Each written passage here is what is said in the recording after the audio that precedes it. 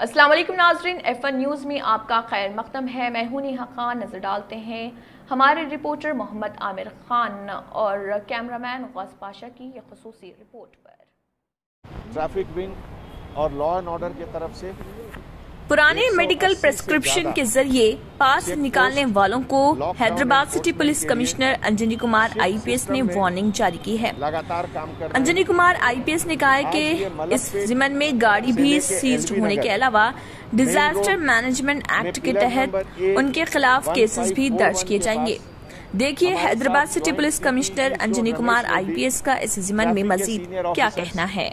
और local law and order के सभी ऑफ़िस ट्रैफ़िक विंग और लॉ एंड ऑर्डर की तरफ़ से 180 से ज़्यादा चेक पोस्ट लॉकडाउन एनफोर्समेंट के लिए शिफ्ट सिस्टम में लगातार काम कर रहे हैं। आज ये मलकपेट से लेके एलबी नगर मेन रोड में पिलर नंबर ए 1541 के पास हमारे साथ joint CP east zone Ramesh Reddy traffic के सीनियर ऑफिसर्स और लोकल लॉ एंड ऑर्डर के सभी ऑफिसर्स मिलकर ये मलकपेट पुलिस स्टेशन के पास तरफ़ से जो चेक पोस्ट लगा, इसको हम लोगों ने मॉर्निंग टेन ओ से इलेवन ओ तक देखा। लगभग ये रोड बहुत इंपॉर्टेंट रोड है हैदराबाद के लिए। इस रोड में एंबुलेंस का मूवमेंट बहुत ज़्यादा है। इसेंशियल आइटम्स को लेके भी मूवमेंट बहुत ज़्यादा है। लेकिन आज एक जो चीज़ देखने को मिली, उसमें यह है कि बहुत लोग मिसयूज़ कर रहे हैं पास को। पुराने मेडिकल प्रिस्क्रिप्शन को दिखाकर या विंड स्क्रीन पर इसेंशियल सर्विसेज़ का स्टिकर लगाकर गाड़ी का पर्सनल मिसयूज़ कर रहे हैं। ऐसे लोगों में से करीब 65 गाड़ियों का अभी तक सीजर हुआ है।